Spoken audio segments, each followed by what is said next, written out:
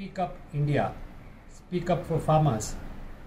We demand the anti farmers BJP government to take back the three anti agriculture black bills against farmers, to give legal guarantee for MSP and ensure mandis, that is APMCs, are not abolished.